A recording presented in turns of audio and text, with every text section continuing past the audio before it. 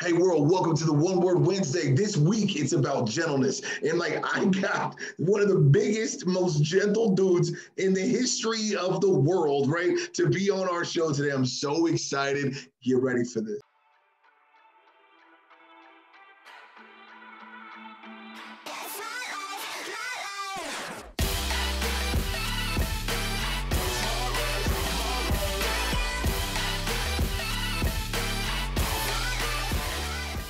Hey world, thanks so much for watching our show. If you are interested and you want to get one of these shirts, if you want to be swaggy with your Speak Club, we would love to have you. If you want to join our team and get on our Patreon, we'd love to have you too. Do me a favor. Click the link below, like, pair, share, do all that kind of stuff, comment, and then come and check us out. We would love to have you as a part of our team. You're the fuel that keeps us going.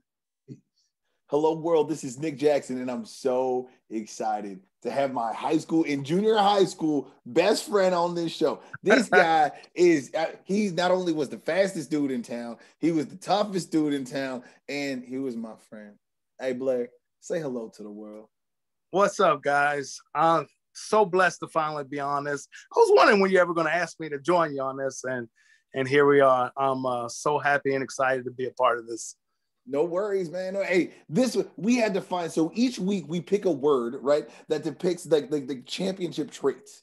And this week we chose the word gentleness. Now, the one thing that now I said you're the toughest, you were one of the toughest dudes in town, but but yeah. you were also one of the most gentle guys I've ever met.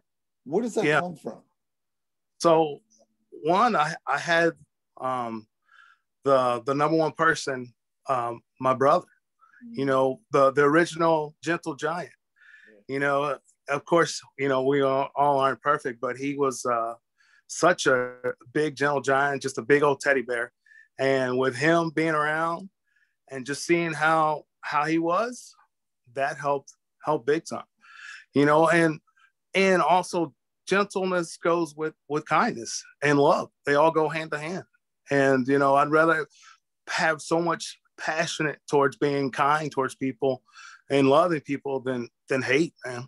Mm, I feel that, man. I remember the first time I got to meet your daughter. Like I remember, I mean, she was this. I mean, we called her just a little, too, a oh, little yeah. nugget, just a little nugget at the time. You know what I'm saying? And like here, here, here you come. You know what I'm saying? Big dude. You got arms. You know what I'm saying? Like you, this big guy with this little baby girl. You know I was scared to. I was so scared to hold her, man. I was. I, but then I thought, you know, if I, it's my own child, so if I drop her or hurt her, you know, that's that's that's on me. You, you but know no. your kids gonna be tough though. That's what it is. yes yes and and i'm so so so blessed that she's actually um she's instilled a lot of that that same gentleness and same kindness to um to others. You know we've heard her um, from teachers telling us there's been kids at lunch that have been sitting alone by themselves and she'll she'll go sit by them just to make sure they ain't they're not lonely and uh, just to just to be with them you know to show that same same kind of love it and I, I love it Man, now how did that make you feel to know to know that your daughter is is keeping on the family tradition of loving others? Man, how did you feel about that? It melted my heart, man. It made me feel just as a proud parent, like like I'm doing I'm doing the right things. I'm showing her love and like you said, gentleness versus you know being angry and and hate. Show the world love. Yeah. No, no. Here's the thing. I play football with you. You know what I'm saying? now I know for a fact hey, you that's, are that's on the field. Hub, you know what I'm saying? how did how did you turn how did you turn this like aggressive running back? Like how did you turn it on on the field and then and then so smoothly and, and easily turn it off when you're off the field? Like where did that come from? You know that is that is tough and you know a lot of um, other athletes do that as well. Um, there's plenty of other gentle giants out there as they call them um, it's just it came naturally for me where it was hey you know I, I always even respected you know other people playing on the other side of me. You know a lot of people we knew we were actually friends with and to this day we're still you know friends if we see them you know but it's just all all about fun to me versus you know you know I got serious about it, but it was it was fun and trying to be the best I could be. Mm, Speaking about being the best you could be, um, I know there's been a lot of stuff going on in, on social media and and in, in our world, right? That yeah. When we grew up, there was there was a healthy amount of racism, and one yeah. of the, one of the, the the conversations that I'll never forget was one where I was I was even thinking about getting into getting involved into people that were going to be getting into a fight, and you you were like, no, we don't do that, you know? Yeah. And like, eh, I, I want to know where did that come from? Like, where did that wisdom? Like, we don't. That's not how we operate. You know what I mean? Where did yeah. that come from? So, as you know, we, you know, I, I was raised just by my mom, Mama T, but I also had a lot of what we call uncles around, and they they kept me straight. You know, ultimately, you know, we're afraid of that butt whooping that we were gonna get, but but um, you know, it, it was just the the thought of just like you know, hey, we we need to do right. I want to make sure, you know, we did do right because in a in a sense, we are a reflection of our parents right? and and you know how would that make them feel if we you know were to be arrested you know that looks so bad on them. That's their name we're carrying so. Yeah yeah. And also in our town we we represented african american men. Yeah. You know what i'm saying? Like a lot of folks did not know any other black guys other than us me me you and yeah. your cousin and, and yeah. your brother you know what i mean? And so and so I I felt like that was a lot of pressure on on my my character, on my athletic ability, on my yeah. my my education, on my, and what I do and what I do in the classroom. Did you did you ever feel that that pressure? Because you never acted like you felt it. Did you uh, yeah, in a sense, I did. You know, I always I made sure though that you know again if we did the the right thing, we showed love and tried to treat everyone with respect and just do good. I felt like we were just, you know, in a in a in a good place, in a good area, that uh, we were able to to do do what's best instead of doing the worst things possible. You know, I mean, obviously there's opportunities for us to screw up. I mean, we're young kids and young and dumb, mm. but for the most part, we we chose the correct path. You know, the the smarter things like, hey, you know what? nah, let's not do that, man. Let's go ahead and and let's stay on the right path and let's let's get out of here. Yeah, man. And you know what? Out of our whole group, to my knowledge, you was the first one to get married. You know what I'm saying? And and and I know, I know. I was like, "What are you doing? What what what, what do you know? What is wrong?" and like and like now you're in a situation. I mean, you talked about you know growing up without your father in the home. You know, yeah. now you're in a situation where where you have your wife, your, your child. You know, you, you got a house. This is the, the, biggest house I've ever seen you live in. You know what I mean? Yes, sir. Like, like yeah. you have you have all of these things, and and and I guess I, I I gotta ask you, is there anything in your life right now that you feel like you've missed out on? That did you feel like there's something else you want to get? Because you seem super content but is there anything else that you want?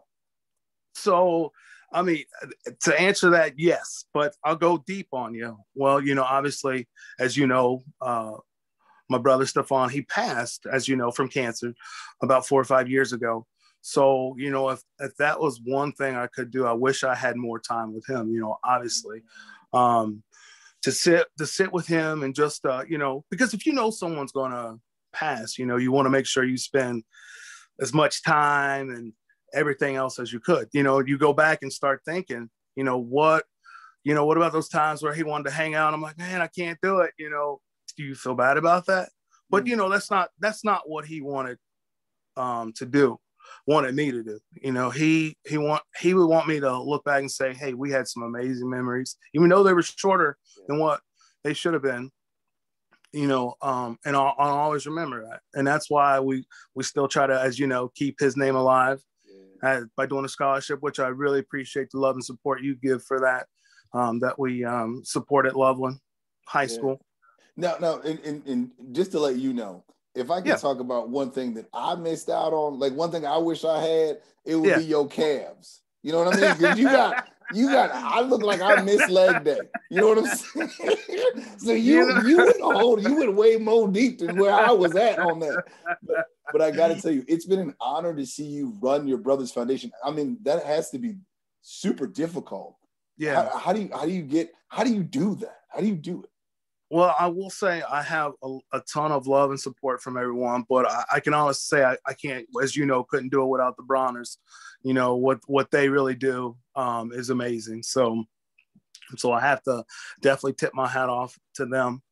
Um, but I will go back to what you said about my calves. As you know, you remember when you first met me how how overweight I was. I just I walked and ran ran my bike everywhere. So that's how that developed naturally, and still to this day, allow me to have that. So yeah, I remember you used to walk three miles to my neighborhood. Oh my gosh! Mm-hmm. You know, every day, every day. Yeah, each way, each way was three. Yeah, miles. Sometimes I come home and come back to you. I would. Yeah, yeah, that's so true. And mm-hmm. I and the reason why my calves didn't look that way is I was getting a ride. You know, I wasn't going. You know.